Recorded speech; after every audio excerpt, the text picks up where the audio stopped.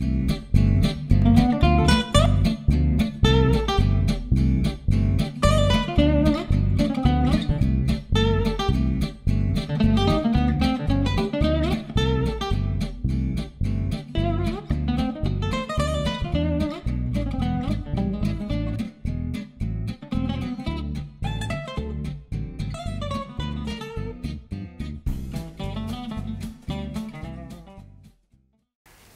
ನಮಸ್ತೆ.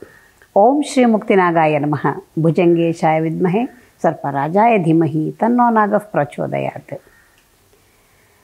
ಈ ವಾರದ ವಾರ ಭವಿಷ್ಯ ಹೇಗಿದೆ ನೋಡೋಣ ಬನ್ನಿ. ಈ ವಾರ ಅಂತಂದರೆ ಏಳನೇ ತಾರೀಕು, ಹದಿಮೂರನೇ ತಾರೀಕಿನವರೆಗೆ ಬರ್ತಕ್ಕಂತಹ ಈ ಏಳು ದಿನಗಳ ವಾರ ಭವಿಷ್ಯ, ಹನ್ನೆರಡು ರಾಶಿಗಳ ಮೇಲೆ ಯಾವ ರೀತಿ ಪ್ರಭಾವ ಬೀರುತ್ತೆ ಅದನ್ನು ತಿಳ್ಕೊಳ್ಳೋಣ ಬನ್ನಿ. ಮೊದಲಿಗೆ ಮೇಷರಾಶಿ. ಮೇಷರಾಶಿಯವರಿಗೆ ಈ ವಾರದಲ್ಲಿ ಅತ್ಯಂತ ಶ್ರೇಷ್ಠ ಮಟ್ಟದ ಫಲಗಳನ್ನು ಕಾಣುವಂತಹ ಯೋಗ. ಯಾಕೆ ಅಂತ ಹೇಳಿದ್ರೆ ಏಕಾದಶದಲ್ಲಿ ರವಿ ಮತ್ತು ಗುರು ಸ್ಥಿತರಾಗಿರೋದ್ರಿಂದ ಇವರಿಗೆ ಒಳ್ಳೆಯ ಧನಲಾಭವನ್ನು ಕಾಣುವಂತಹ ಅವಕಾಶ ಇದೆ. ಅಷ್ಟೇ ಅಲ್ಲ, ಚಂದ್ರನ ಒಂದು ದೆಸೆಯಿಂದನೂ ಕೂಡ ಇವರಿಗೆ ಹೆಚ್ಚಿನ ಯಶಸ್ಸನ್ನು ಕಾಣುವಂತಹ ಯೋಗ ಇದೆ. ವ್ಯಾಪಾರ ವ್ಯವಹಾರಗಳಲ್ಲಿ ಅದರಲ್ಲೂ ಕೂಡ ರಾಷ್ಟ್ರೀಯ ಮಟ್ಟದ್ದಿರಬಹುದು, ಅಂತಾರಾಷ್ಟ್ರೀಯ ಮಟ್ಟದ ವ್ಯಾಪಾರ ಮಾಡ್ತಕ್ಕಂಥವ್ರಿಗಂತೂ ಕೂಡ ವಿಶೇಷವಾದ ಧನಲಾಭ ಆಗುವಂಥ ಕಾಲ ಇದಾಗಿದೆ. ಹಾಗಾಗಿ ಒಂದು ರೀತಿಯಲ್ಲಿ ಮೇಷರಾಶಿಯವರಿಗೆ ಚೆನ್ನಾಗಿದೆ ಅಂತಲೇ ಹೇಳಬಹುದು. ಇನ್ನು ಕೇತುವಿನ, ಅಷ್ಟಮದ ಕೇತುವಿನಿಂದಾಗಿ ಸ್ವಲ್ಪ ಆರೋಗ್ಯದಲ್ಲಿ ಕಿರಿಕಿರಿ ಕಂಡುಬರುತ್ತೆ. ಅದಕ್ಕಾಗಿ ನೀವು ವೈದ್ಯಕೀಯ ಚಿಕಿತ್ಸೆಯನ್ನು ಪಡ್ಕೊಳ್ಳೋದು ತುಂಬ ಉತ್ತಮವಾಗತ್ತೆ. ಮತ್ತು ಈ ವಾರದಲ್ಲಿ ಸ್ವಲ್ಪ ಬೇರೆಯ ರೀತಿಯಲ್ಲಿ ಮನೆಯಲ್ಲಿ ಕೌಟುಂಬಿಕವಾಗಿ ಸಣ್ಣ ಪುಟ್ಟ ಸಮಸ್ಯೆಗಳು ಬರಬಹುದು. ಆದರೆ ಅವೆಲ್ಲವೂ ಕೂಡ ಕೂಡಲೇ ಇತ್ಯರ್ಥ ಆಗುವಂತೆ ಕೂಡ ಇರೋದರಿಂದ ಹೆಚ್ಚಿನ ತಲೆ ಕೆಡಿಸ್ಕೊಳ್ಳುವಂತಿಲ್ಲ. ಎಲ್ಲವೂ ಸುಗಮವಾಗಿಯೇ ನಡೆಯುವಂಥ ಕಾಲ. ಇನ್ನು ವೃಷಭ ರಾಶಿ. ವೃಷಭ ರಾಶಿಯವರಿಗೆ ನೀವು ಕೆಲಸವನ್ನು ಮಾಡುವಂತಹ ಕಚೇರಿಗಳಲ್ಲಿ ಮೇಲಧಿಕಾರಿಗಳಿಂದ ಸಣ್ಣ ಪುಟ್ಟ ಕಿರಿಕಿರಿಗಳನ್ನು ಕಾಣುವಂತಹ ಅವಕಾಶ ಒದಗಿದು ಬರುತ್ತೆ. ಅಂದರೆ ಯಾರೋ ಮಾಡಿದ ತಪ್ಪನ್ನು ನಿಮ್ಮ ಮೇಲೆ ಅವರು ಅಪಾರ್ಥ ಮಾಡಿಕೊಂಡು ನಿಮ್ಮ ಮೇಲೆ ಸ್ವಲ್ಪ ಸಿಡಿಮಿಡಿಗೊಳ್ಳುವಂತಹ ಅವಕಾಶಗಳಿರುತ್ತೆ. ಆದರೆ ವಾರದ ಎರಡು ಮೂರು ದನ ದಿನಗಳ ನಂತರದಲ್ಲಿ ಹೆಚ್ಚಿನ ಲಾಭ ಆಗುವಂತಹ ಅವಕಾಶ ಇದೆ. ಅದರಲ್ಲಿ ಕೂಡ ಕೃಷಿಕರಿಗೆ ಮತ್ತು ವ್ಯಾಪಾರ ವ್ಯವಹಾರವನ್ನು ಮಾಡ್ತಕ್ಕಂಥವ್ರಿಗೆ ಎಲ್ಲರಿಗೂ ಕೂಡ ವಿಶೇಷವಾಗಿ ಧನಲಾಭ ಆಗುವಂತಹ ಯೋಗ ಕೂಡ ನಿಮಗೆ ಕಂಡು ಬರ್ತಾ ಇದೆ. ಆದರೆ ಹೆಣ್ಣು ಮಕ್ಕಳಿಗೆ ಮಾತ್ರ ಸ್ವಲ್ಪ ಹೊಟ್ಟೆ ನೋವಿನ ಸಮಸ್ಯೆ ಬರುವಂತಹ ಸಾಧ್ಯತೆ ಇದೆ. ಸತಿಪತಿಗಳಲ್ಲಿ ಕಲಹಗಳು ಉಂಟಾಗುವಂತೆ ಇದೆ. ಹಾಗಾಗಿ ಇದೆಲ್ಲಕ್ಕಾಗಿ ನೀವು ದುರ್ಗಾದೇವಿಯ ಮೊರೆಯನ್ನು ಹೋಗೋದ್ರಿಂದ ಸ್ವಲ್ಪ ಸಮಾಧಾನ ಸಿಕ್ಕತ್ತೆ. ಅದಕ್ಕಾಗಿ ನೀವು ಮಾಡಬೇಕಾಗಿರೋದೇನು? ಓಂ ಹ್ರೀಂ ದುಂ ದುರ್ಗಾಯೇ ನಮಃ. ಈ ಒಂದು ಸಣ್ಣ ಮಂತ್ರವನ್ನು ಪ್ರತಿದಿನ ನೂರೆಂಟು ಬಾರಿ ಹೇಳ್ಕೊಳ್ತಾ ಬಂದದ್ದೇ ಆದರೆ ಅದಕ್ಕೂ ಕೂಡ ಪರಿಹಾರ ಸಿಕ್ಕಿ ಹೋಗುತ್ತೆ. ಮಿಥುನ ರಾಶಿ. ಮಿಥುನ ರಾಶಿಯವರಿಗೆ ಮೊದಲ ಎರಡು ಮೂರು ದಿವಸ ಅತ್ಯಂತ ಉತ್ತಮವಾಗಿ ನಡೀತಾ ಇರ್ತಕ್ಕಂಥದ್ದು. ಈ ಎರಡು ಮೂರು ದಿವಸಗಳಲ್ಲಿ ವಿಪರೀತವಾದ ಧನಲಾಭವನ್ನು ಕಾಣುವಂತಹ ಯೋಗ ಇದೆ. ನಿಮ್ಮ ವ್ಯವಹಾರವೆಲ್ಲವೂ ಚೆನ್ನಾಗಿಯೇ ನಡೀತಾ ಇರುತ್ತೆ. ಆದರೆ ವಾರದ ಮಧ್ಯಭಾಗದಲ್ಲಿ ಮಾತ್ರ ಸ್ವಲ್ಪ ಸಮಸ್ಯೆಗಳು ತಲೆದೋರುವಂತೆ ಇದೆ. ಮತ್ತು ಯಾರ ಜೊತೆಯೂ ಕೂಡ ಹೆಚ್ಚಿನ ವಾದ ವಿವಾದಕ್ಕೆ ಹೋಗದೇ ಇದ್ದರೆ ಒಳ್ಳೆಯದು ಸಣ್ಣ ಪುಟ್ಟ ವಾದ ವಿವಾದಗಳಿಂದನೇ ಕೆಲವು ಸಮಸ್ಯೆಗಳು ತಲೆದೋರುತ್ತೆ, ಕೆಲವು ಅನಿವಾರ್ಯವಾಗಿ ಹಣವನ್ನು ಕಳ್ಕೊಳ್ಳುವಂತಹ ಅವಕಾಶವೂ ಒದಗಿ ಬರುತ್ತೆ. ಹಾಗಾಗಿ ವಾರದ ಮಧ್ಯಭಾಗದಲ್ಲಿ ಹೂಡಿಕೆಯಾಗುವಂತಹ ಯಾವುದೇ ಕೆಲಸವನ್ನು ಕೂಡ ಮಾಡೋದು ಬೇಡ. ತದನಂತರದಲ್ಲಿ ಮತ್ತೆ ನಿಮಗೆ ವ್ಯಾಪಾರ ವ್ಯವಹಾರದಲ್ಲಿ ಅಭಿವೃದ್ಧಿ ಇದೆ. ಕೃಷಿಕರಿಗೆ ಹೆಚ್ಚೆಚ್ಚು ಹೊಸ ಉಪಕರಣಗಳನ್ನು ಕೊಂಡುಕೊಳ್ಳುವಂತಹ ಯೋಗವಿದೆ. ಕೃಷಿಯಲ್ಲಿ ಹೆಚ್ಚಿನ ಆದಾಯವನ್ನು ಗಳಿಸುವಂತಹ ಯೋಗ ಇದೆ. ಮತ್ತು ನಿಮ್ಮ ತುಂಬ ಆತ್ಮೀಯ ಸ್ನೇಹಿತರ ಕಡೆಯಿಂದ ಹೆಚ್ಚಿನ ಒಂದು ಅವಕಾಶಗಳು ನಿಮಗೆ ಅಂದರೆ ಅವರಿಂದ ಸಹಕಾರ, ಸಂಯೋಗ ಎಲ್ಲವೂ ಸಿಕ್ಕುವಂತಹ ಯೋಗ ಇರೋದ್ರಿಂದ ನೀವು ಕೆಲವೊಂದು ವಿಚಾರದಲ್ಲಿ ಅವರ ಸಲಹೆಗಳನ್ನು ಪಡ್ಕೊಳ್ಳೋದು ಕೂಡ ತುಂಬ ಉತ್ತಮವಾಗುತ್ತೆ. ಕೆಲವೊಮ್ಮೆ ನೋಡಿ ಕೆಲವರು ಸಲಹೆ ಕೊಟ್ಟಿದ್ದು ಆ ಕ್ಷಣಕ್ಕೆ ನಮಗೆ ಕೆಲವು ಸರಿ ತೊಗೊಳ್ಳೋದೋ ಬೇಡವೋ ಅಂತ ಅನಿಸುತ್ತೆ, ಆದರೆ ತೊಗೊಂಡಾಗ ತುಂಬ ಅನುಕೂಲ ಆಗುತ್ತೆ. ಕೆಲವೊಮ್ಮೆ ಅದೇ ಮುಳುವಾಗತ್ತು ಸಾಧ್ಯತೆ ಇರುತ್ತೆ. ಆದರೆ ನಿಮಗೆ ಈ ವಾರದಲ್ಲಿ ಇದು ಉತ್ತಮ ಒಂದು ಅವಕಾಶವನ್ನು ಸೃಷ್ಟಿ ಮಾಡ್ಕೊಳ್ಳೋದಕ್ಕೆ ಅವಕಾಶವಾಗುತ್ತೆ. ಅದರಿಂದ ಯೋಚನೆ ಬೇಡ. ಆದರೆ ಮನೆಯಲ್ಲಿ ಸಣ್ಣ ಪುಟ್ಟ ಕಿರಿಕಿರಿಗಳು ಬರ್ತಕ್ಕಂಥದ್ದು ಆರೋಗ್ಯದಲ್ಲಿ ಸ್ವಲ್ಪ ಸಮಸ್ಯೆಗಳನ್ನು ಕಾಣುವಂತಹ ಅವಕಾಶ ಇರೋದ್ರಿಂದ ಆರೋಗ್ಯದ ಕಡೆ ಹೆಚ್ಚಿನ ಒಂದು ಕಾಳಜಿಯನ್ನು ವಹಿಸಬೇಕಾಗತ್ತೆ. ಬಾಕಿ ಅಂತೆ ಈ ವಾರದಲ್ಲಿ ಒಂದು ರೀತಿ ಸಮಸ್ಥಿತಿಯನ್ನು ಕಾಯ್ದುಕೊಳ್ಳುವಂತಹ ವಾರ ಅಂತ ಹೇಳಬಹುದಾಗಿದೆ. ಇನ್ನು ಕಟಕ ರಾಶಿ. ಕಟಕ ರಾಶಿಯ ಈ ಬಟ್ಟೆ ವ್ಯಾಪಾರ ಮಾಡ್ತಕ್ಕಂಥವ್ರು ಟೆಕ್ಸ್ಟೈಲ್ ಇಂಡಸ್ಟ್ರಿ ಇಟ್ಕೊಂಡಿರ್ತಕ್ಕಂಥವ್ರು, ಇಂಥವರಿಗೆಲ್ಲ ವಿಪರೀತವಾದ ಲಾಭವನ್ನು ಕಾಣುವಂತಹ ಅವಕಾಶಗಳು ಒದಗಿ ಬರುತ್ತೆ. ಇನ್ನು ಯಾರಿಗಾದರೂ ಉದ್ಯೋಗಕ್ಕಾಗಿ ನೀವು ಓಡಾಡ್ತಾ ಇದ್ದರೆ ಎಲ್ಲಿಯಾದರೂ ಅಪ್ಲಿಕೇಶನ್ಗಳನ್ನು ಹಾಕ್ಕೊಳ್ತಾ ಇದ್ದರೆ ಈ ವಾರದಲ್ಲಿ ಇಂಟರ್ವ್ಯೂ ಬರೋ ಸಾಧ್ಯತೆ ಇದೆ. ಕೆಲಸವು ಸಿಕ್ಕುವಂತಹ ಸಾಧ್ಯತೆ ಇದೆ. ಕೆಲವರು ಇರುವ ಜಾಗದಲ್ಲಿಯೇ ಡಿಪಾರ್ಟ್ಮೆಂಟ್ಗಳನ್ನು ಬದಲಾವಣೆ ಮಾಡುವಂಥದ್ದು ಅಥವಾ ಸ್ಥಾನ ಬದಲಾವಣೆ ಆಗುವಂಥದ್ದು ಈ ರೀತಿ ಕೂಡ ಅವಕಾಶಗಳು ಒದಗಿ ಬರುತ್ತೆ. ಅಂತಹದ್ದು ಕೂಡ ಸಾಧ್ಯತೆ ಇರತಕ್ಕಂಥದ್ದು. ಮತ್ತು ವ್ಯಾಪಾರ ವ್ಯವಹಾರವೆಲ್ಲವೂ ಚೆನ್ನಾಗಿ ನಡೆಯುವಂತಹ ಕಾಲ ಸಣ್ಣ ಪುಟ್ಟ ಉದ್ಯಮವನ್ನು ನಡೆಸ್ತಕ್ಕಂಥವ್ರು ಅಂದರೆ ಸಣ್ಣ ಕೈಗಾರಿಕೆಗಳನ್ನು ನಡೆಸ್ತಕ್ಕಂಥವ್ರಿಗೆ ಈ ವಾರದಲ್ಲಿ ವಿಶೇಷವಾಗಿ ಧನಲಾಭ ಆಗತ್ತೆ. ಹಾಗಾಗಿ ಯಾವಾಗ ಧನಲಾಭ ಆಗಬಹುದು ಅನ್ನುವ ಸೂಚನೆ ಇರುತ್ತೆ. ಆಗ ಹೆಚ್ಚು ಪರಿಶ್ರಮವನ್ನು ಮಾಡಿದಾಗ ಇನ್ನೂ ಹೆಚ್ಚಿನ ಲಾಭವನ್ನು ಕಾಣೋದಕ್ಕೆ ಸಾಧ್ಯವಾಗುತ್ತೆ. ಇವೆಲ್ಲವೂ ಚೆನ್ನಾಗಿರುತ್ತೆ. ಆದರೆ ಮಾತ್ರ ಸ್ವಲ್ಪ ಎಚ್ಚರಿಕೆ ವಹಿಸಬೇಕು. ಯಾವ ವಿಚಾರದಲ್ಲಿ ಅಂದರೆ ಗಾಜಿನ ಪದಾರ್ಥಗಳನ್ನು ನೀವು ಬಳಸುವಾಗ, ಅದನ್ನು ಮುಟ್ಟುವಾಗ ಅಥವಾ ಯಾವುದಾದ್ರೂ ಗಾಜುಗಳಲ್ಲಿ ಕೆಲಸವನ್ನು ಮಾಡುವಾಗ ಬಹಳ ಜಾಗರೂಕರಾಗಿರಬೇಕು. ಅದನ್ನು ಎತ್ತಿ ಒಡೆದಾಕುವಂಥದ್ದು, ಕೈ ಮೈಯಲ್ಲಿ ಚುಚ್ಚಿಕೊಳ್ತಕ್ಕಂಥದ್ದು, ಈ ರೀತಿ ಸನ್ನಿವೇಶಗಳು ಕೂಡ ಒದಗಿ ಬರುವ ಸಾಧ್ಯತೆ ಇದೆ. ಇನ್ನು ವಾಹನಗಳನ್ನು ಓಡಿಸ್ತಕ್ಕಂಥವ್ರು, ಅಂದರೆ ಕ್ಯಾಬ್ ಓಡಿಸೋವಂಥವ್ರು ಆಟೋ ರಿಕ್ಷಾ ಓಡಿಸೋವಂಥವ್ರು ಇಂಥವ್ರಿಗೂ ಕೂಡ ಉತ್ತಮವಾದಂತಹ ಕಾಲ, ಒಳ್ಳೆಯ ಲಾಭವನ್ನು ಮಾಡುವ ಅವಕಾಶ ಇದೆ. ಹಾಗಾಗಿ ಒಟ್ಟಾರೆ ಹೇಳುವಾಗ ಕಟಕ ರಾಶಿಯವರಿಗೆ ಉತ್ತಮ ಕಾಲ ಅಂತಲೇ ಹೇಳಬಹುದು. ಸಿಂಹರಾಶಿ ಸಿಂಹರಾಶಿಯವರಿಗೆ ವಾರದ ಪ್ರಾರಂಭದಲ್ಲಿ ಸ್ವಲ್ಪ ನಿಧಾನಗತಿಯಲ್ಲಿ ನಡೆಯುವಂಥದ್ದು. ಯಾವ ಕೆಲಸ ಕಾರ್ಯಗಳು ಕೂಡ ಅಷ್ಟು ಶೀಘ್ರವಾಗಿ ನಡೆಯೋದಿಲ್ಲ. ನಿಮ್ಮ ಕೆಲಸ ಕಾರ್ಯಗಳೆಲ್ಲವೂ ಕೂಡ ವಿಳಂಬವಾಗ್ತಾ ಇರುತ್ತೆ, ಮನಸ್ಸು ಬೇಸತ್ತು ಹೋಗುತ್ತೆ. ಹಾಗಂತ ನೀವು ಒಂದು ರೀತಿ ಅಸಮಾಧಾನವನ್ನು ಪಟ್ಕೊಳ್ದಿರ, ನೀವು ಕೆಲಸದಲ್ಲಿ ಮಗ್ನರಾಗಿಯೇ ಇರಬೇಕಾಗತ್ತೆ. ಮುಂದಿನ ದಿನಗಳಿಗೆ ಅದು ಸಹಾಯಕವಾಗುವಂಥದ್ದು. ಇನ್ನು ರಾಜಕೀಯ ಕ್ಷೇತ್ರದಲ್ಲಿರ್ತಕ್ಕಂಥವ್ರಿಗೆ ಸ್ವಲ್ಪ ಹಿನ್ನಡೆ ಆಗುವಂಥದ್ದು, ಅವರು ಮಾಡುವಂತಹ ಕೆಲಸವನ್ನು ಯಾರು ಗುರುತಿಸದೇ ಇರತಕ್ಕಂಥದ್ದು, ಅವರಿಗೆ ಸ್ವಲ್ಪ ರೀತಿಯ ಉತ್ತಮ ಫಲವನ್ನು ಕಾಣುವಂತಹ ಯೋಗ ಈ ವಾರದಲ್ಲಿ ಇರೋದಿಲ್ಲ. ಆದರೆ ಈ ಡೈರಿಗೆ ಸಂಬಂಧಪಟ್ಟಂತಹ ಹಾಲು, ಮೊಸರು ವ್ಯಾಪಾರ ಮಾಡ್ತಕ್ಕಂಥವ್ರು, ಮತ್ತು ಸಿಹಿ ಪದಾರ್ಥಗಳನ್ನು ವ್ಯಾಪಾರ ಮಾಡ್ತಕ್ಕಂಥವ್ರು ಈ ರೀತಿಯೆಲ್ಲ ಇದ್ದಾಗ ಅಂಥವರಿಗೆ ಸ್ವಲ್ಪ ಹೆಚ್ಚಿನ ಧನಲಾಭ ಆಗುವಂತಹ ಯೋಗವಿದೆ. ಇನ್ನು ಸ್ವಲ್ಪ ಆರೋಗ್ಯದಲ್ಲಿ ಮಾತ್ರ ಕಿರಿಕಿರಿ ಇರ್ತಕ್ಕಂತಹ ವಾರವಾಗಿದೆ. ಅದರಿಂದ ನೀವು ಹೆಚ್ಚಿನ ಜಾಗರೂಕರಾಗಿರೋದು ಉತ್ತಮ ಅಂತ ಹೇಳ್ಬೋದು.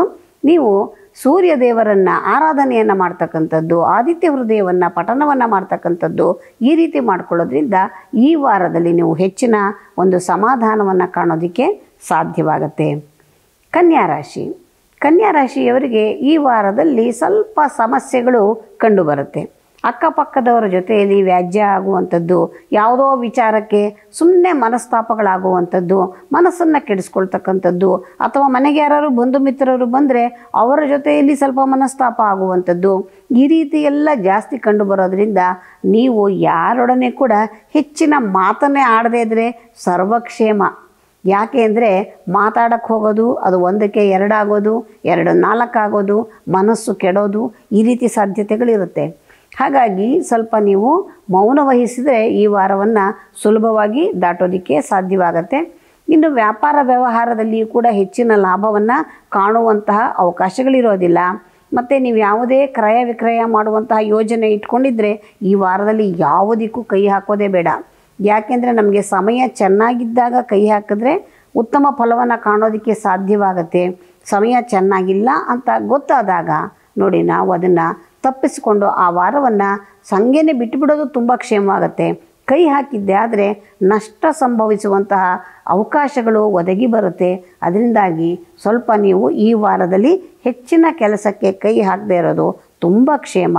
ನೀವು ಮಾಡಬೇಕಾಗಿರೋದು ಇಷ್ಟೇ. ಓಂ ನಮೋ ನಾರಾಯಣಾಯ. ಈ ಒಂದು ಸಣ್ಣ ಮಂತ್ರವನ್ನು ಪ್ರತಿನಿತ್ಯ ನೂರೆಂಟು ಬಾರಿ ಹೇಳಿಕೊಂಡು ಮನೆಯನ್ನು ಬಿಡಿ. ಯಾವುದೂ ಕೂಡ ಸಮಸ್ಯೆ ಆಗೋದಿಲ್ಲ. ತುಲಾರಾಶಿ. ತುಲಾರಾಶಿಯವರಿಗೆ ಈ ವಾರದಲ್ಲಿ ಹೆಚ್ಚಿನ ಉತ್ತಮ ಫಲಗಳನ್ನು ಕಾಣುವಂತಹ ಅವಕಾಶ ಇದೆ. ಬಹಳ ದಿವಸದಿಂದ ಕಂಡಂತಹ ಕನಸೆಲ್ಲವೂ ಕೂಡ ನನಸಾಗುವಂತಹ ಕಾಲ ಒದಗಿ ಬರ್ತಾ ಇದೆ. ಯಾರೆಲ್ಲ ಚಿನ್ನದ ವ್ಯಾಪಾರವನ್ನು ಮಾಡ್ತಾರೆ ಅವರಿಗೆ ಅಧಿಕ ಲಾಭ ಆಗುವಂತಹ ಯೋಗ ಇದೆ. ಆದರೆ ಸಿಮೆಂಟು ಕಬ್ಬಿಣದ ವ್ಯಾಪಾರ ಮಾಡ್ತಕ್ಕಂಥವ್ರಿಗೆ ಸ್ವಲ್ಪ ವ್ಯಾಪಾರದಲ್ಲಿ ಹಿನ್ನಡೆ ಆಗುತ್ತೆ. ಆದರೂ ಕೂಡ ಒಂದೆರಡು ದಿವಸಗಳ ನಂತರದಲ್ಲಿ ನಿಮ್ಮ ವ್ಯಾಪಾರವು ಕೂಡ ಸುಧಾರಿಸುವಂತಹ ಅವಕಾಶ ಇದೆ. ನಿವೇಶನಗಳನ್ನು ಕೊಂಡ್ಕೊಳ್ಬೇಕು ಅಂತ ಯಾರಾದರೂ ಕೂಡ ಯೋಚನೆ ಮಾಡ್ತಾ ಇರ್ತೀರ, ಹುಡುಕ್ತಾ ಇರ್ತೀರ, ಸಿಕ್ಕಿರೋದಿಲ್ಲ, ಸಿಕ್ಕರೂ ಕೂಡ ವ್ಯಾಪಾರ ಕುದುರಿರೋದಿಲ್ಲ, ಈ ವಾರ ಪ್ರಯತ್ನ ಪಡಿ, ನಿಮಗೆ ನಿವೇಶನವನ್ನು ಖರೀದಿ ಮಾಡೋದಕ್ಕೆ ಒಳ್ಳೆಯ ಯೋಗ ಇದೆ. ಮತ್ತು ನಿಮ್ಮ ಆರೋಗ್ಯದಲ್ಲಿ ಕೂಡ ಸಾಕಷ್ಟು ಚೇತರಿಕೆ ಇರುತ್ತೆ.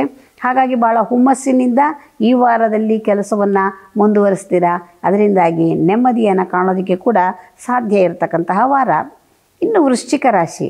ವೃಶ್ಚಿಕ ರಾಶಿಯವರಿಗೆ ಈ ವಾರದಲ್ಲಿ ಬಹಳ ದಿವಸದಿಂದ ಕೆಲವರು ಅನಾರೋಗ್ಯ ಪೀಡಿತರಾಗಿರ್ತಾರೆ. ಅವರಿಗೆ ಯಾವ ಏನಪ್ಪ, ನಾನು ಸರಿ ಹೋಗೋದೇ ಇಲ್ವೇನೋ ಅನ್ನುವ ಮಟ್ಟಕ್ಕೆ ಇರ್ತಕ್ಕಂಥವ್ರಿಗೆ ಕೂಡ ಈ ವಾರದಲ್ಲಿ ಯಾವುದೋ, ಯಾರೋ ಹೇಳ್ತಾರೆ, ಇಂಥ ಕಡೆ ಹೋಗಿ ನಿಮಗೆ ಉತ್ತಮ ಚಿಕಿತ್ಸೆ ಸಿಕ್ಕತ್ತೆ ಅಂತ. ಆಗ ಅವರು ಆ ಚಿಕಿತ್ಸೆಗೆ ಒಳಗಾಗ್ತಾರೆ. ಆಗ ದಿಢೀರಂತ ಅವರ ಕಾಯಿಲೆ ಗುಣಮುಖವಾಗುವಂತಹ ಕಾಲ ಸನ್ನಿಹಿತವಾಗಿದೆ. ನೋಡಿ, ಯಾವುದಕ್ಕೂ ಕೂಡ ಕಾಲ ಕೂಡಿ ಬರಬೇಕು ಅನ್ನೋದು ಇದಕ್ಕೇನೆ ಕೆಲವು ಗ್ರಹಗಳ ಕೂಟಗಳಿಂದ ಏನಾಗುತ್ತೆ? ವ್ಯಾಧಿ ಪೀಡಿತರಾಗೋಕ್ಕೆ ಸಾಧ್ಯವಾಗುತ್ತೆ. ಕೆಲವು ಗ್ರಹಗಳ ಒಂದು ಚಲನೆಯಿಂದ ಪೀಡಿತರಾಗಿರ್ತಕ್ಕಂತಹ ವ್ಯಾಧಿ ನಿವಾರಣೆ ಆಗೋದಕ್ಕೆ ಕೂಡ ಸಾಧ್ಯವಾಗುತ್ತೆ. ಅಂತಹ ಕಾಲ ವೃಶ್ಚಿಕ ರಾಶಿಯವರಿಗೆ ಬಂದಿದೆ. ಹಾಗಾಗಿ ಯಾಕೆ ಯಾವುದೇ ರೀತಿಯ ಕಾಯಿಲೆಗಳು ಹಿಂದಿನಿಂದ ಕಾಡ್ತಾ ಇದ್ದರೂ ಕೂಡ ಈ ವಾರದಲ್ಲಿ ಸರಿಪಡಿಸ್ಕೊಳ್ಳೋದಕ್ಕೆ ಸಾಧ್ಯ ಇರತಕ್ಕಂತಹ ವಾರ. ಇನ್ನು ದಿನಸಿ ವ್ಯಾಪಾರ ಮಾಡ್ತಕ್ಕಂಥವ್ರು, ತರಕಾರಿಗಳು, ಹಣ್ಣುಗಳನ್ನು ಬೀದಿಯಲ್ಲಿ ವ್ಯಾಪಾರ ಮಾಡ್ತಕ್ಕಂಥವ್ರು, ಇವರಿಗೆಲ್ರಿಗೂ ಕೂಡ ವಿಶೇಷವಾಗಿ ಧನಲಾಭ ಆಗುವಂತಹ ಯೋಗ ಇದೆ. ಉದ್ಯೋಗಕ್ಕಾಗಿ ಯಾರಾದರೂ ಕೂಡ ನೀವು ಉದ್ಯೋಗಾರ್ಥಿಗಳಾಗಿ ಓಡಾಡ್ತಾ ಇದ್ದರೆ ಅಂಥವ್ರಿಗೆ ಉದ್ಯೋಗ ಅವಕಾಶ ಕೂಡ ಒದಗಿ ಬರುವಂತಹ ಕಾಲವಾಗಿದೆ. ಹಾಗಾಗಿ ವೃಶ್ಚಿಕ ರಾಶಿಯವರಿಗೆ ಈ ವಾರದಲ್ಲಿ ಹೆಚ್ಚಿನ ಶುಭ ಫಲಗಳನ್ನು ಕಾಡುವಂತಹ ಅವಕಾಶ ಕೂಡಿ ಬರ್ತಾ ಇದೆ. ಅದರಿಂದಾಗಿ ಕಾಲ ಬಂದಾಗ ಸರಿಯಾಗಿ ಬಳಸಿಕೊಂಡಿದ್ದೆ ಆದರೆ ಇನ್ನೂ ಹೆಚ್ಚಿನ ಲಾಭವನ್ನು ಕಾಣೋದಕ್ಕೆ ಸಾಧ್ಯವಾಗುತ್ತೆ. ಧನಸ್ಸು ರಾಶಿ. ಧನಸ್ಸು ರಾಶಿಯವರಿಗೆ ಈ ವಾರದಲ್ಲಿ ಸ್ವಲ್ಪ ನೀವು ನಿಮ್ಮದೇ ಆದಂತಹ ಬೇಜವಾಬ್ದಾರಿತನದಿಂದ ಕೆಲವು ಸಮಸ್ಯೆಗಳನ್ನು ನೀವೇ ಮೈಮೇಲೆ ಮೇಲೆ ಹಾಕ್ಕೋತೀರ ಅದರಿಂದಾಗಿ ನೀವು ಸ್ವಲ್ಪ ಚುರುಕಾಗಿದ್ರೇ ಒಳ್ಳೆಯದು ಮತ್ತು ಯಾರನ್ನು ಕೂಡ ಹೆಚ್ಚಾಗಿ ನಂಬುವಂತಹ ಕೆಲಸಕ್ಕೆ ಹೋಗೋದು ಬೇಡ. ಮತ್ತು ನೀವು ಕೆಲವು ಕೆಲಸವನ್ನು ಮಾಡುವಾಗ ಸ್ವಲ್ಪ ಚುರುಕುತನವನ್ನು ತೋರಿಸಿದ್ರೆ ಈ ವಾರದಲ್ಲಿ ಉತ್ತಮವಾದ ಫಲವನ್ನು ಕಾಣೋದಕ್ಕೆ ಕೂಡ ಸಾಧ್ಯತೆ ಇದೆ. ಹಾಗಾಗಿ ನೀವು ಯಾವುದೇ ಕಾರಣಕ್ಕೂ ಕೂಡ, ಅಯ್ಯೋ, ಆಗತ್ತೆ ಬಿಡು, ಹೇಗೋ ಅದ್ರ ಪಾಡ್ಗದು ಅಂತ ಬೇಸ, ಬೇಜವಾಬ್ದಾರಿತನ ತೋರಿಸ್ದಿರ. ನೀವು ಸ್ವತಃ ನೀವೇ ಖುದ್ದಾಗಿ ಕೆಲಸವನ್ನು ಮಾಡಿದಾಗ ಹೆಚ್ಚಿನ ಫಲವನ್ನು ಕಾಣೋದಕ್ಕೆ ಸಾಧ್ಯತೆ ಇದೆ. ತಾಯಿಯವರ ಆರೋಗ್ಯದ ಕಡೆ ಸ್ವಲ್ಪ ಗಮನವನ್ನು ಇಟ್ಕೋಬೇಕಾಗತ್ತೆ. ವಾರದ ಮಧ್ಯದ ನಂತರದಲ್ಲಿ ಸ್ವಲ್ಪ ಧನಲಾಭ ಆಗುವಂತಹ ಯೋಗ ಇದೆ. ಕಾರ್ಮಿಕರಿಗೂ ಮತ್ತು ನಿಮಗೂ ಯಾರಾದರೂ ಕೂಡ ಸಣ್ಣ ಸಣ್ಣ ಕೈಗಾರಿಕೆಗಳನ್ನು ನಡೆಸ್ತಕ್ಕಂಥವ್ರು, ಸ್ವ ಉದ್ಯಮ ಇಟ್ಕೊಂಡಿರ್ತಕ್ಕಂಥವ್ರಿಗೆ ಕಾಮಿ ಕಾರ್ಮಿಕರ ಜೊತೆಯಲ್ಲಿ ಸ್ವಲ್ಪ ವಾದ ವಿವಾದಗಳು ಬರ್ತಕ್ಕಂತಹ ಅವಕಾಶಗಳಿದೆ. ಹಾಗಾಗಿ ಅವರುಗಳನ್ನು ಸ್ವಲ್ಪ ಹೇಗೆ ನಿಭಾಯಿಸಬೇಕು ಅನ್ನೋದನ್ನು ನೀವು ಒಂಚೂರು ನಿಧಾನವಾಗಿ ಯೋಚನೆ ಮಾಡಿ ಕೆಲಸ ಮಾಡಿದ್ರೆ ತುಂಬ ಒಳ್ಳೆಯದು ಮತ್ತು ಆರೋಗ್ಯದಲ್ಲಿ ಕೂಡ ಸಣ್ಣ ಪುಟ್ಟ ಕಿರಿಕಿರಿಗಳು ಕಂಡು ಬರುತ್ತೆ. ಅದಕ್ಕಾಗಿ ಹೆಚ್ಚು ಚಿಂತೆ ಮಾಡೋದು ಬೇಡ. ಈ ವಾರದಲ್ಲಿ ಸ್ವಲ್ಪ ಸಮಸ್ಯೆಗಳಿದೆ. ತದನಂತರದಲ್ಲಿ ಮತ್ತೆ ಪುನಃ ಒಳ್ಳೆಯ ಕಾಲ ಬಂದೇ ಬರುತ್ತೆ. ಆದರೆ ನೀವು ಮಾಡಬೇಕಾಗಿರೋದು ಆಂಜನೇಯ ಸ್ವಾಮಿಗೆ ನೀವು ಶನಿವಾರ ಶನಿವಾರ ಸ್ವಲ್ಪ ಎಳ್ಳೆಣ್ಣೆಯನ್ನು, ಸಮರ್ಪಣೆಯನ್ನು ಮಾಡ್ತಕ್ಕಂಥದ್ದು ಈ ರೀತಿ ಮಾಡೋದ್ರಿಂದ ಸ್ವಲ್ಪ ಬರತಕ್ಕಂತಹ ಸಮಸ್ಯೆಗಳು ಸುಲಭವಾಗಿ ನಿಭಾಯಿಸೋದಕ್ಕೆ ಸಾಧ್ಯವಾಗತ್ತೆ. ಮಕರ ರಾಶಿ. ಮಕರ ರಾಶಿಯವರಿಗೆ ಈ ವಾರದಲ್ಲಿ ಸ್ವಲ್ಪ ಮಿಶ್ರ ಫಲಗಳನ್ನು ಕಾಣ್ತಕ್ಕಂತಹ ಯೋಗ ಇರುವಂತಹ ಕಾಲ. ಮೊದಲು ಎರಡು ಮೂರು ದಿವಸದಲ್ಲಿ ಸ್ವಲ್ಪ ಹಣದ ವಹಿವಾಟು ಚೆನ್ನಾಗಿಯೇ ನಡೆಯುತ್ತೆ, ಕ್ರಯ ವಿಕ್ರಯಗಳು ಕೂಡ ಚೆನ್ನಾಗಿಯೇ ನಡೆಯುತ್ತೆ. ಮತ್ತು ಮಧ್ಯವರ್ತಿಗಳು ಯಾರಿರ್ತಾರೆ ಮೀಡಿಯೇಟರ್ಸ್ ಥರ ಯಾರು ಕೆಲಸ ಮಾಡ್ತಾ ಇರ್ತಾರೆ, ಅವರಿಗೆಲ್ಲ ಹೆಚ್ಚಿನ ಲಾಭ ಆಗುವಂತಹ ಅವಕಾಶಗಳೇ ಇರುತ್ತೆ. ಆದರೆ ಒಂದು ಎರಡು ಮೂರು ದಿವಸದ ನಂತರದಲ್ಲಿ ಸ್ವಲ್ಪ ನಿಧಾನಗತಿಯನ್ನು ಪಡ್ಕೊಳ್ಳುತ್ತೆ. ಕೆಲಸ ಕಾರ್ಯಗಳೆಲ್ಲವೂ ಕೂಡ ನಿಧಾನವಾಗುತ್ತೆ. ಬರುವಂತಹ ಹಣ ಸಮಯಕ್ಕೆ ಸರಿಯಾಗಿ ಬರೋದಿಲ್ಲ. ಮನಸ್ಸಿಗೆ ಸ್ವಲ್ಪ ಕಿರಿಕಿರಿ ಉಂಟಾಗ್ತಕ್ಕಂಥದ್ದು. ಮತ್ತು ಮನೆಯಲ್ಲಿ ಕೂಡ ಕೌಟುಂಬಿಕವಾಗಿ ಸಣ್ಣ ಪುಟ್ಟ ಸಮಸ್ಯೆಗಳು ಬರುವಂಥದ್ದು, ಮಾತುಕತೆಗಳು ಬರ್ತಕ್ಕಂಥದ್ದು, ಮತ್ತು ಒಂದು ರೀತಿ ವಿರಸಗಳು ಉಂಟಾಗುವಂಥದ್ದು ಈ ರೀತಿ ಎಲ್ಲ ಸಾಧ್ಯತೆ ಇರೋದ್ರಿಂದ ನೀವು ಸ್ವಲ್ಪ ಮಾತನಾಡುವಾಗ ಎಚ್ಚರಿಕೆಯನ್ನು ವಹಿಸಬೇಕಾಗತ್ತೆ. ಮತ್ತು ಯಾರಿಗಾದರೂ ಹಣವನ್ನು ಈ ವಾರದಲ್ಲಿ ಕೊಡುವಂತಹ ಕೆಲಸ ಮಾಡೋದು ಬೇಡ. ಈ ವಾರದಲ್ಲಿ ಕೊಟ್ಟಂತಹ ಹಣ ಪುನಃ ವಾಪಸ್ ಪಡ್ಕೊಳ್ಳೋದಕ್ಕೆ ನಿಮಗೆ ಸಾಧ್ಯವಾಗದೇ ಇರುವಂತಹ ಅವಕಾಶಗಳಿದೆ. ಹಾಗಾಗಿ ಹಣದ ವಿಚಾರದಲ್ಲಿ ಬಹಳ ಮುನ್ನೆಚ್ಚರಿಕೆಯನ್ನು ವಹಿಸಬೇಕಾಗತ್ತೆ. ಇಷ್ಟನ್ನು ಮಾಡಿಕೊಂಡ್ರೆ ಈ ವಾರವನ್ನು ಸುಲಭವಾಗಿ ಕಳೆಯೋದಕ್ಕೆ ಸಾಧ್ಯವಾಗತ್ತೆ. ಕುಂಭರಾಶಿ. ಕುಂಭರಾಶಿಯವರಿಗೆ ಈ ವಾರದಲ್ಲಿ ಸ್ವಲ್ಪ ಸಮಸ್ಯೆಗಳನ್ನು ಕಾಣುವಂತಹ ಅವಕಾಶ ಇದೆ. ಯಾಕೆ ಅಂತ ಹೇಳಿದ್ರೆ ಸ್ವಲ್ಪ ಹಣ ಜಾಸ್ತಿ ಖರ್ಚಾಗುವಂತಹ ಅವಕಾಶಗಳಿದೆ. ವ್ಯಾಪಾರಸ್ಥರಿಗೆ ಸರಕುಗಳನ್ನು ಜಾಸ್ತಿ ಜಾಸ್ತಿ ಕೊಂಡುಕೊಳ್ಳುವಂತಹ ಅವಕಾಶ ಬರುತ್ತೆ, ತೊಗೊಂಡ್ಬಿಡ್ತೀರಾ? ಆದರೆ ವ್ಯಾಪಾರವಾಗೋದಿಲ್ಲ. ಅದೆಲ್ಲ ಹಾಗೆ ಉಳಿದು ಹೋಗುತ್ತೆ. ಹಣವೆಲ್ಲವೂ ವ್ಯಯವಾಗಿ ಹೋಗುತ್ತೆ. ಮತ್ತೆ ಅದನ್ನು ಜೋಡಿಸ್ಕೊಳ್ಳೋದಕ್ಕೆ ಅವಕಾಶ ಆಗೋದಿಲ್ಲ. ಇನ್ನು ಕೆಲಸವನ್ನು ಮಾಡ್ತಕ್ಕಂತಹ ಉದ್ಯೋಗದಲ್ಲಿ ಇರ್ತಕ್ಕಂಥವ್ರಿಗೆ ಸ್ವಲ್ಪ ಸಮಸ್ಯೆಗಳು ಜಾಸ್ತಿ ಬರುತ್ತೆ. ಅನೇಕ ರೀತಿಯ ವಿಘ್ನಗಳು ಕೆಲಸ ಸಮಯಕ್ಕೆ ಸರಿಯಾಗಿ ಮಾಡೋದಕ್ಕೆ ಅವಕಾಶವೇ ಆಗೋದಿಲ್ಲ. ಅದರಿಂದಾಗಿ ಮೇಲಧಿಕಾರಿಗಳ ಹತ್ರ ಸ್ವಲ್ಪ ಮಾತುಕತೆಗಳು ಬರ್ತಕ್ಕಂಥದ್ದು. ಈ ಎಲ್ಲ ಆಗೋದ್ರಿಂದ ಏನಾಗುತ್ತೆ? ಮನಸ್ಸಿನ ಮೇಲೆ ಪರಿಣಾಮ ಬರುತ್ತೆ. ಮಾನಸಿಕವಾಗಿ ನೆಮ್ಮದಿ ಕಡಿಮೆ ಆಗುವಂತಹ ವಾರ ಇದಾಗಿರುತ್ತೆ. ಅಷ್ಟೇ ಅಲ್ಲ, ಸ್ವಲ್ಪ ಸೊಂಟ ನೋವು, ಬೆನ್ನು ನೋವು, ಕಾಲು ನೋವು, ಈ ರೀತಿ ನೋವುಗಳು ಕೂಡ ಕಾಣಿಸ್ಕೊಳ್ಳುವಂತಹ ಯೋಗ ಈ ವಾರದಲ್ಲಿ ನಿಮಗೆ ಒದಗಿ ಬರತಕ್ಕಂಥದ್ದಾಗಿರುತ್ತೆ. ಮತ್ತು ವ್ಯಾಪಾರಸ್ಥರು ಮತ್ತು ವಾಹನ ಚಾಲಕರಿಗೆ ಅಷ್ಟೊಂದು ಉತ್ತಮವಾದಂತಹ ಫಲಗಳನ್ನು ಕಾಣುವಂತಹ ಅವಕಾಶ ಇರೋದಿಲ್ಲ.